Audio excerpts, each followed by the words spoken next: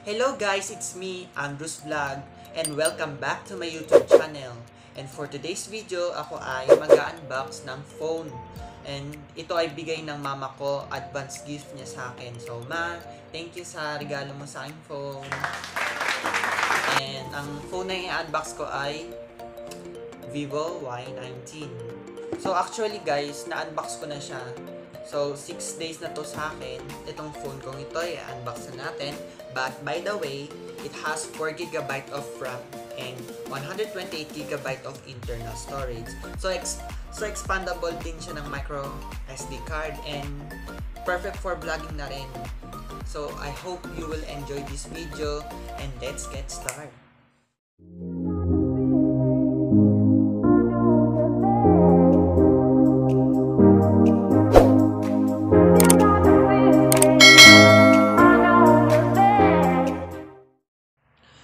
Guys, on hand ko na ang Vivo Y19. Mayroon siyang 4GB of RAM and 128GB of internal storage. So wal wala na masyadong detail dito sa harap. Sa likod naman, meron siyang 5000 mAh battery and dual engine fast charging 6.53 inches full HD plus halo full view display. So meron tayong spring white. So buksan na natin. So, makikita natin agad ang laman Vivo. Ayan. Tingnan natin ang loob. Meron tayong free jelly case. And warranty card. And itong SIM ejector. Cardboard phone. So, ito na ang phone. So, ang, ang natin is spring white.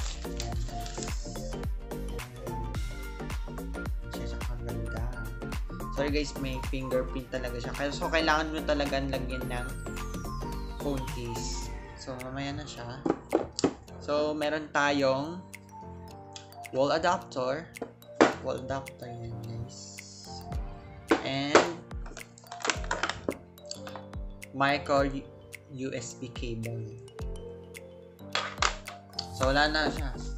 Walang earphones. So sadly no earphones na. So guys, ang ganda nung phone. Nagre-reflect yung light sa spring white. Doon muna tayo sa specification. We have the power and off, volume rocker, SIM card tray. Sa taas, wala tayong makikita. Sa baba naman, meron tayong speaker, micro USB cord, microphone, headphone jack. Sa likod naman, meron tayong fingerprint scanner. Sa harap ng camera, meron tayong 16MP and f2.0 aperture. Sa likod naman, we have triple cameras. We have the 16MP for wide angle, 8MP for ultra wide, and 2MP for macro camera. So, meron din tayong ilaw. Guys, buksan na natin.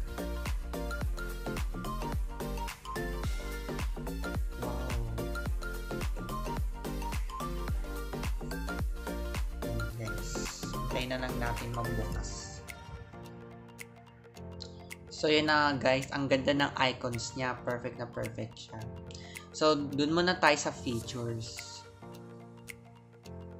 Meron tayong eye protection, dark mode, Wi-Fi, capture, vibration mode, data network, speed up, Bluetooth, flashlight, easy touch, calculator, ultra game mode, Wi-Fi hotspot, silent mode, rotation rock, airplane mode, split screen, location, do not disturb, low power mode. Meron din tayong image recognizer, super saver, camera, power off, motorbike mode, small screen mode, switch SIM card, smart mirroring. Yan guys. And meron tayong grayscale and focus mode. So guys, tignan natin kung ilang left na yung internal storage ko. Actually, nagamit ko na siya kasi nag-install na rin ako ng mga apps. So, tignan na natin. Meron na lang tayong 96.90 gigabytes of RAM. Ang overall, 128 gigabyte. So guys, so meron siyang 8.9mm thickness, 193 grams, FunTouch 9.2, Android 9 Pie, and MediaTek Helio P65 and tsaka octa-core na rin siya. So guys, meron nga siyang 128GB of ROM and 4GB of RAM, 5000 mAh battery, powered by dual engine fast charge and 18 watts. Meron siyang 6.53 inches Full HD Plus screen display at 2340 by 1080p screen resolution. So, itetest natin ang Call of Duty Mobile.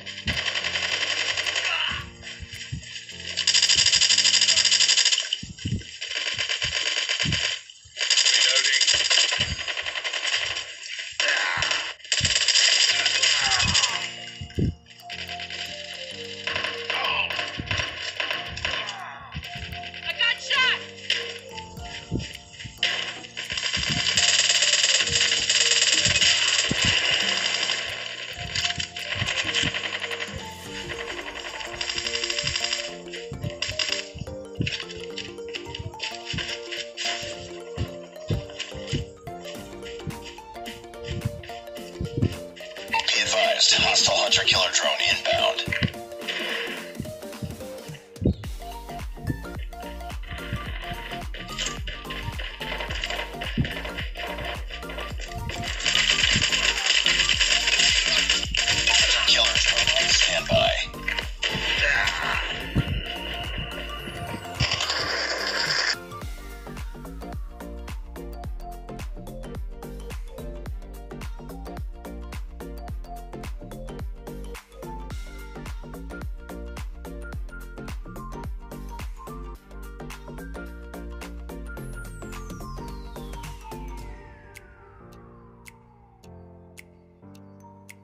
So guys, I'm currently using the Vivo Y19 from Camera Video. Smooth naman ako tignan, then natural lang. Hindi naman siya pixelated, tsaka wala namang noise. Kasi it's 16 MP sa harap.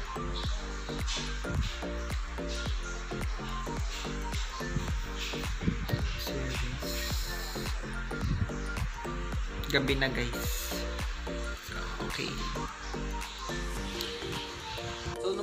Namin to sa Vivo Store, may kasama rin itong freebies. Ang unang freebies is selfie stick. And the. USB mini desktop fan. Tsaka yung mini speaker guys. And the last is the sa ring. Ayan, sa phone case. So, ayun na nga, tapos na ang aking video. Sana mag-like kayo, mag-subscribe, mag-turn on notification bell, at huwag niyong kakalimutan mag-comment. Thank you for watching, guys. Bye-bye!